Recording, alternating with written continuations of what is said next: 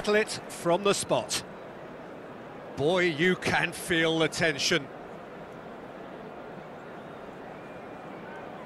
Mbappe shoulders the responsibility of the first kick.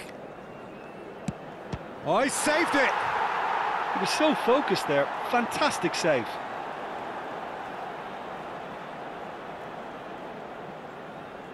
Ferran Torres steps up for his penalty.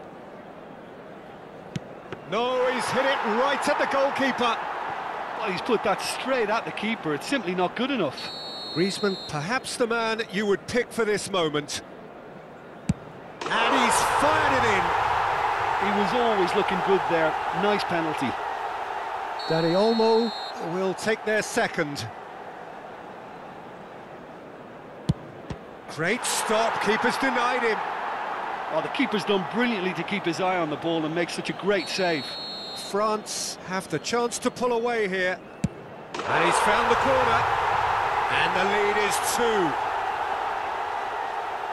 Spain trailing by two now. Oh, he cannot score. Can the goalkeeper come up with a moment? That's it! It is done! Spain are beaten on penalties after two inconclusive hours of football. A post-mortem pretty pointless now. It simply hurts.